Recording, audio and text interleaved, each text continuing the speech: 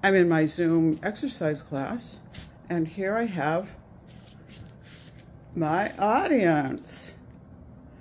Hi, Eli. I put her in here because she's kind of a pain. She, this is my deaf dog. But as long as she, as long as I'm in here, she doesn't scream. Isn't he the cutest? Why don't you show them how you play with your toy, how you know on that? No, a big nose, yeah. I've got them tied up there else they start playing. Okay, that's it.